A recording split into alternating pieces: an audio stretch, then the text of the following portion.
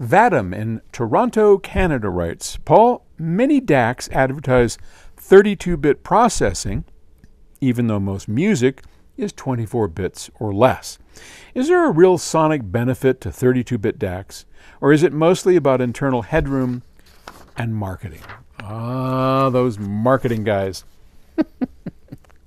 well, you know, like anything, it's a little more complicated than that. So, first off, let's talk about what are bits? What does it mean? What does 32 bits mean? Who cares? What's 16 bits? All of that. As a refresher, the bits determine the dynamic range, okay? And the fineness of those steps of dynamic range. So a 32 bit DAC has a dynamic range that's this big 120, 130 dB of dynamic range, and a 24 bit has this much, and a 16 bit has that much. But to put that into perspective, a 16 bit CD has a dynamic range of almost 100 dB.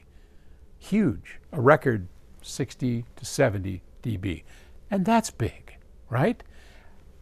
This room right now has the air conditioning, the, uh, the ambient noise level, and I'm here alone, probably 30 dB. If you just took something and measured it, there's 30 dB of noise going on here. So it's all very confusing when you try and talk about dynamic range, and we'll talk more about it over time. But that's what it's all about. So the more bits, the more dynamic range that you can have. We don't use much of that dynamic range, so it's kind of a moot point. Let's go deeper.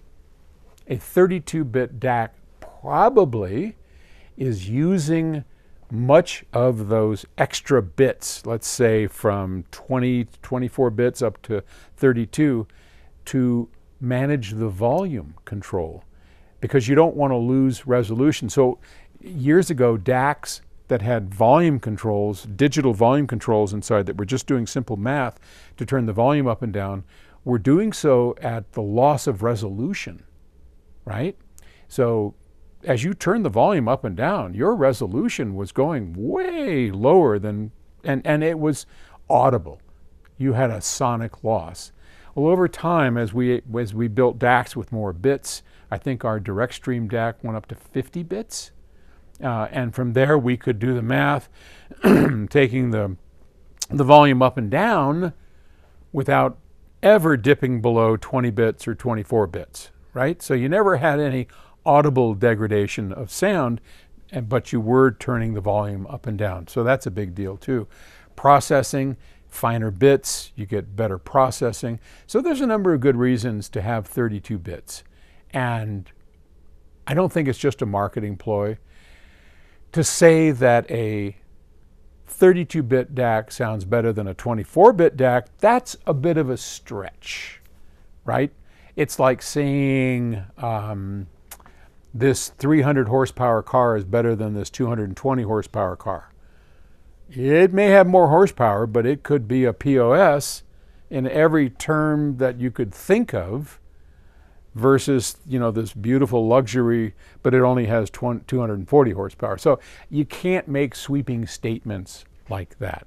But in general, yes, you could make a good argument why it's technically good. I wouldn't put a whole lot more to it than that because some DACs, most, most, many DACs that I have personally heard that have spectacular sp specifications uh, don't sound the best. So one of the specs has to be listening. when we design a product, I would say 40% of the time we spend on it is done right here in the listening room and we tweak it to our ears, to your ears. So you go to a restaurant and it's got all the right ingredients, but it tastes not so good. That's the difference, right? A chef can take the same ingredients and make a spectacular meal. Those same ingredients with a hack not so good. Same stuff, very different results. listening. That's what matters. Okay. Sermon over. Have a good day. I'll talk to you later. Bye.